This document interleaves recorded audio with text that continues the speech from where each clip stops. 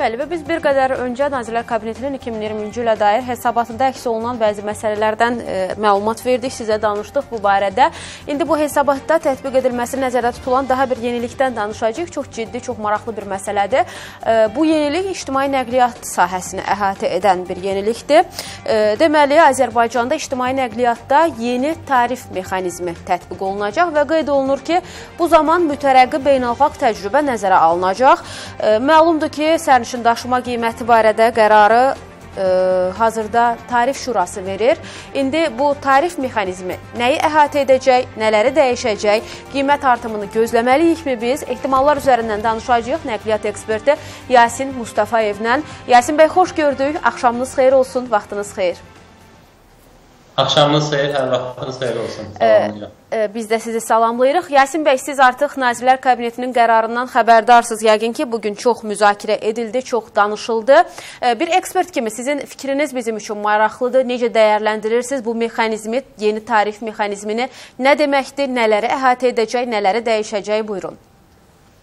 İlk öncə qeyd etməliyəm ki, bu pandemiya dövründəki məhdudiyyətlər E, təbii ki, insanlara öz mənfi təsirini göstərib və göstərməkdədir. Və belə bir qarışıqlıq içərisində insanlarda belə bir təsəvvür, belə bir fikir yaranıb ki, nə zərurət vardır ki, belə bir mexanizmin yaranmasına, bu məhdudiyyətlərin yaranmasına. E, ilk öncə e, bu məsələyə biraz daha geniş aspektdən baxmalıyıq. E, e, mən qeyd eləmək istəyirəm ki, e, çox bir çox xarici ölkələrdə olduğumuz yerlərdə e, fərqli bir mexanizmin işlədiyini görürük biz bu sahədə. Yəni ictimai nəqliyyatda e, bizdəki kimi, yəni tutaq ki, bir e, tutaq ki, sürücü və yaxud da e, sərnişin bir yerdən başqa yerə gedərkən e, onun sərnişinin ödədiyi məbləğ onun e, getdiyi e, yol qədər deyil. Yəni yol yol yola mütənasib olaraq ölçülmür.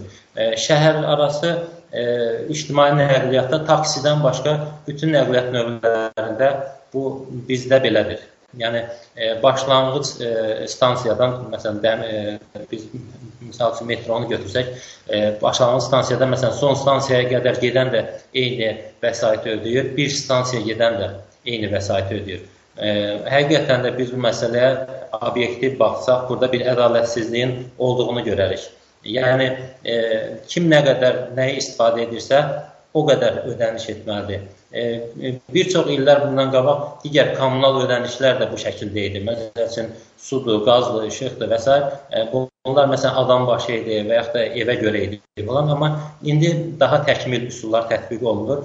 Bu kommunal e, ödənişlərə artıq sayğacılar qoyulubdur. Yəni hər bir vətəndaş istifadə elədiyi qədər ödəniş eləyir. Eyni zamanda bu ictimai nəqliyyatda da belə bir prosesin baş verməyi labud idi. İndi bu pandemiya dövrüdür, müəyyən müddət inşallah görsənir ki, bu yavaş-yavaş bu dövr e, bitəcək. Yəni e, ehtimallara görə artıq bir neçə aydan sonra artıq bu məhdudiyyətlər yavaş-yavaş aradan götürüləcək. Düz, düzdür, hal-hazırda metro işləmir, məsəl üçün digər avtobuslar həftə sonları işləyir falan. Amma artıq pandemiya dövrü yavaş-yavaş bitməyə doğru gedir və pandemiyadan sonraki dövrlərdə bütün sahələrdə olduğu kimi nəqliyyat sahəsində də daha təkmil, daha belə səmərəli mexanizmlər e, dövrəyə girməlidir, yəni tətbiq olunmalıdır. Bu cəhətdən də yəni bu bu mexanizmin tətbiq olunmağı labid idi, yəni gözlənilən idi. Yəni vətəndaş e, tutaq ki, e, sərnişin metrodan istifadə edir, belə deyək, belə izah edək.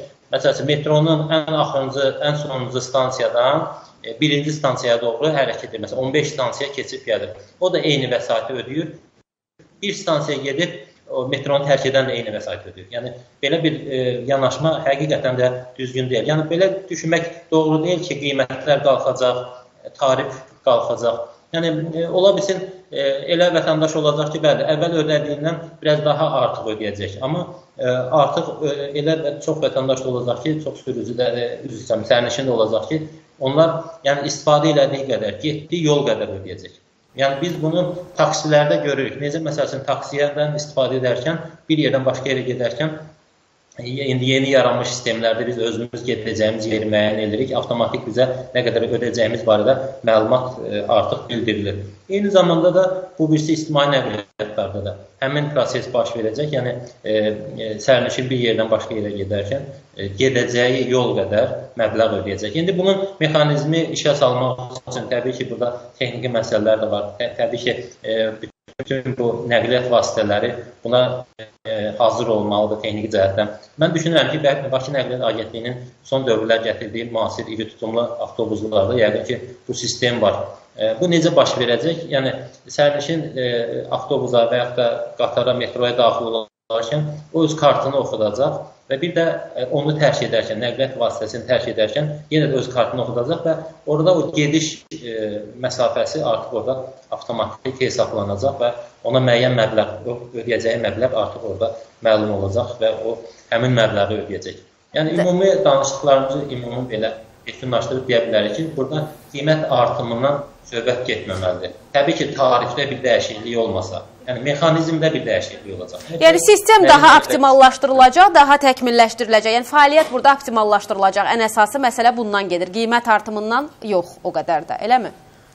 Bəli, bəli. Təbii, təbii ki, bəli. Amma istisnadır, bilmirəm. İndi təbii ki, e, tarifdə bir dəyişiklik olarsa, e, o da gözlənməyil, zənn. Yasin bəy, təşəkkür edirik sizə. Çox sağ olun. Ətraflı şəkildə e, suallarımızı cavablandırdığınız üçün minnətdarıq sizə.